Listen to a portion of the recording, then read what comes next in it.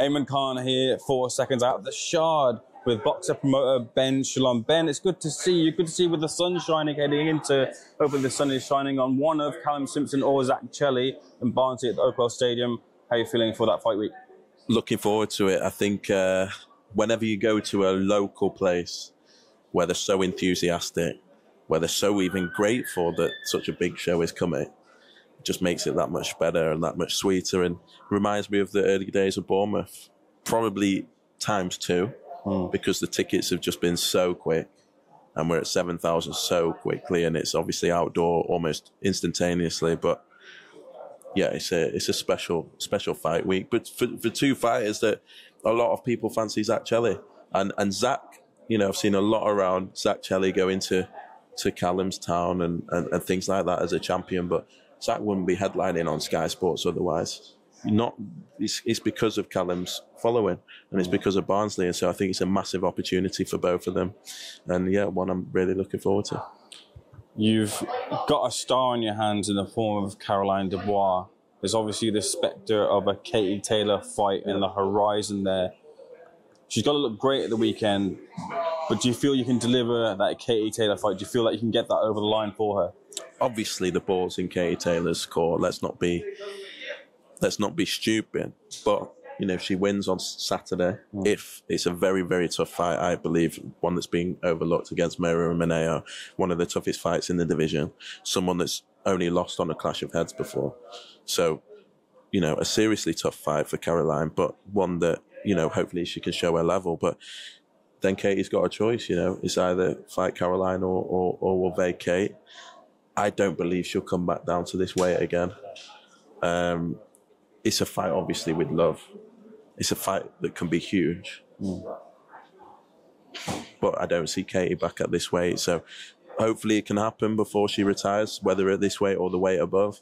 Um, but in terms of Caroline's next fight, if if Caroline's to stay at this weight, obviously I'd be delighted if Katie comes back down. But um, we're probably looking at, at, more likely if you're looking at other big domestic fights, maybe the Rhiannon Dixon fight um, next. But yeah, that, that, that Katie Taylor fight is obviously the one that Caroline wants and the one that we'll push for and the one that she wants to put on a performance to, to show the world why she deserves it on Saturday night.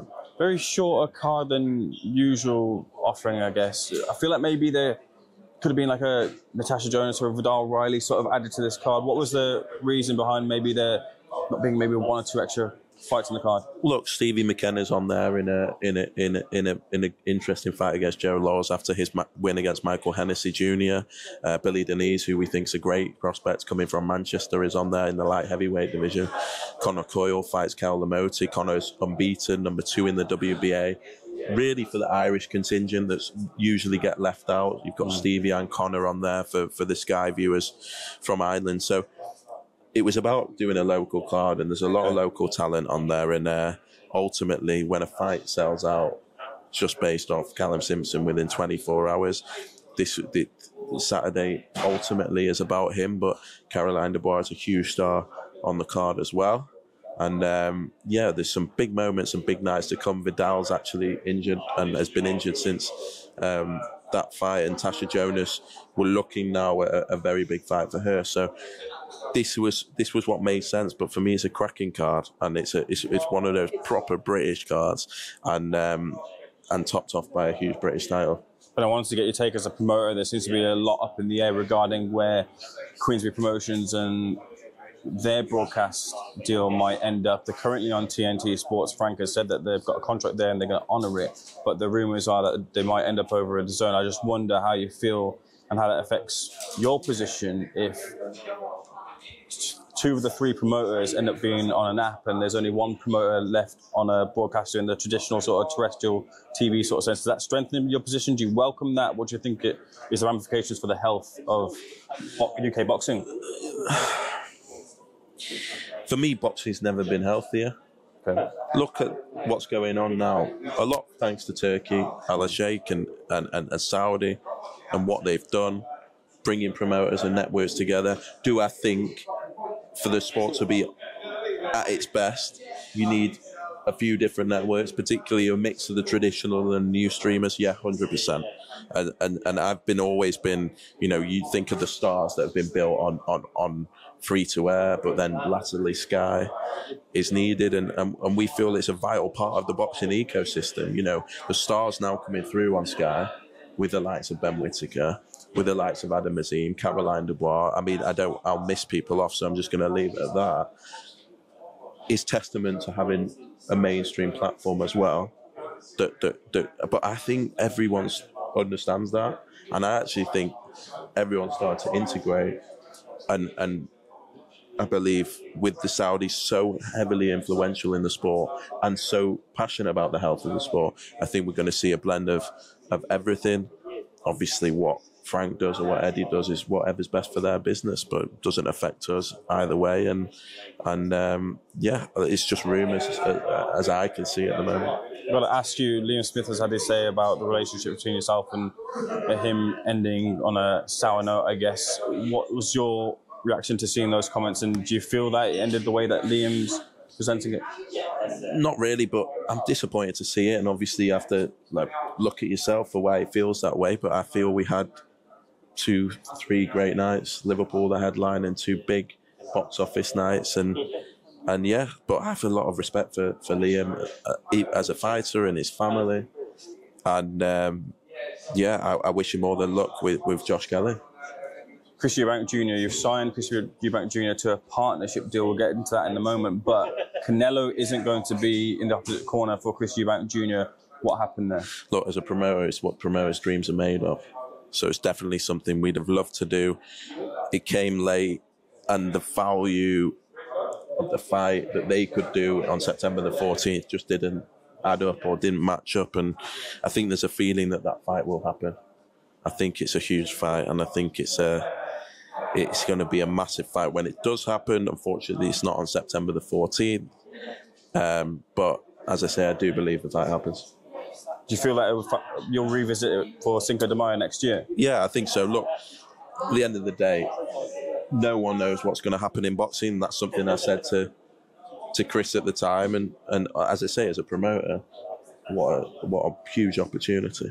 Um, but ultimately, if the value doesn't meet meet the value of that, how they're valuing the fight, then and and, and admittedly, they were, it, it was just for September 14 then then you have to revisit it when it does. What sort of opponent will you look for then in the interim, considering that that might be the next fight? Because you sort of like you got to make sure you put him in a good fight, but also one that you know it can't be too risky because that is also in the offering as well. Well, there's some huge fights for him, aren't there?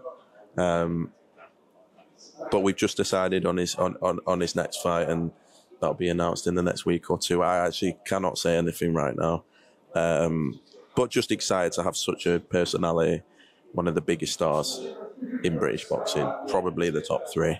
And and for me, his biggest fights ahead of him and his chance to become a world champion as well.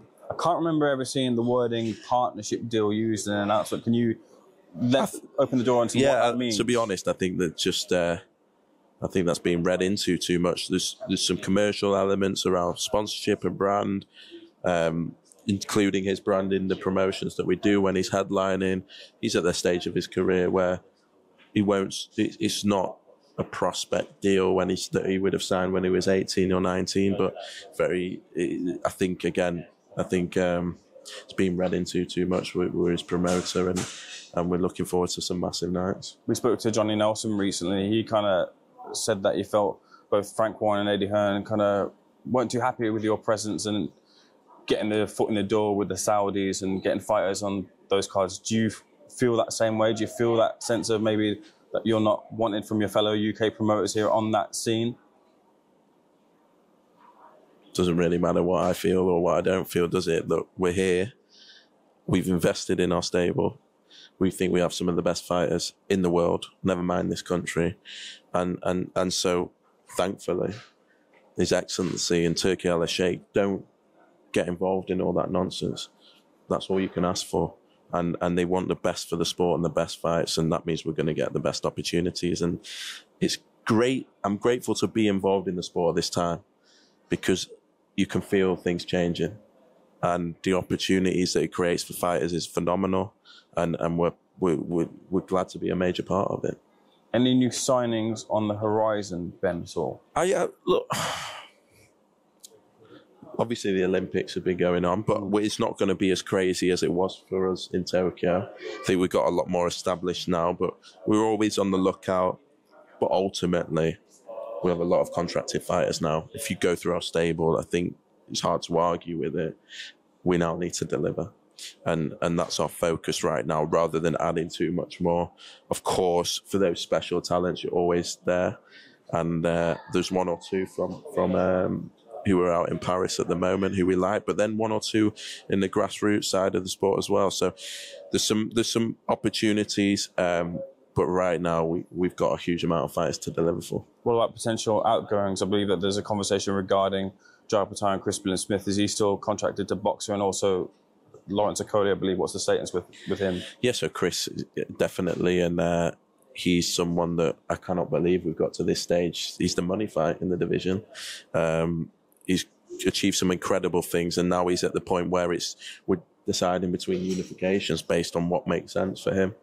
Um, so yeah, um, it's amazing for that, and I'm excited to see what's next. And negotiations have started with with both Ramirez's team and, and Opetaia's team. Chris is out in the States at the moment, so he's not like he's having to take some time off. He's had a grueling 12 months, been through the Okolie fight, the Masternak fight, the Riakporhe fight, come through each time, and hopefully he'll, he'll unify towards the end of the year.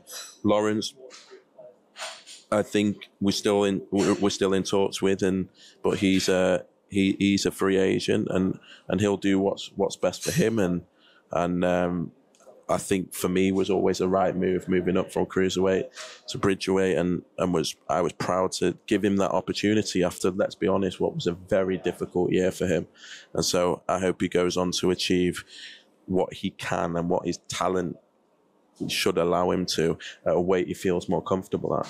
Just finally for myself, last weekend we saw Derek Chisora versus Joe Joyce and Derek Chisora showed that he had a little bit more life left in him when we thought going into the fight it was Joe Joyce would be the person. What a G. That, that would what a G indeed, I guess. Maybe he's got a burger coming your way as well too, uh, Ben. But as a promoter, with Derek, I don't know what the situation is contractually. I believe he's a free agent and he fields offers.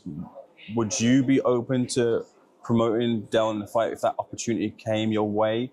Um, considering some of the concerns people have had about Derek? Look, it's, it's such a difficult question, that one, because I've said before that perhaps in my opinion, he should retire because he's earned so much money and he's got a great family and he's given so much to the sport. But, you know, it's difficult because everyone always thinks back to what happened to Muhammad Ali and, and how he went on too long. And I think it's very hard for fighters to walk away from what is a drug. But then to say here and stand here and say someone should give up their livelihood is equally uncomfortable. Mm. So it's a difficult position to say to a promoter all you hope for is that every fighter retires with money in the bank and their faculties intact. And I think that's why a lot of people have said Derek should retire because he's got both of those things.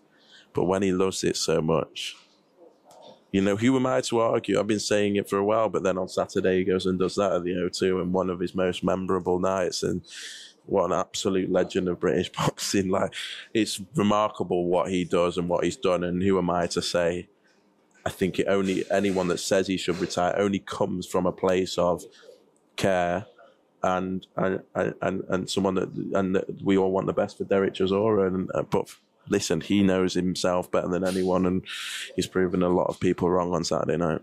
I've taken too much of your time, Ben, but you're off to LA now. That's right. I am. Yes. Some good huge... conversations happening over there. Yeah, definitely. But um, yeah, it's going to be a big week. I think a lot will get done, but for me, Martin Bakole is there in a in a huge fight. So huge week for Boxxer, huge huge night in Barnsley, and then Martin Bakole off to off to beat the number one US heavyweight prospects in a in a in a massive fight. Ben, I appreciate it. Thanks for checking us out. Thank you.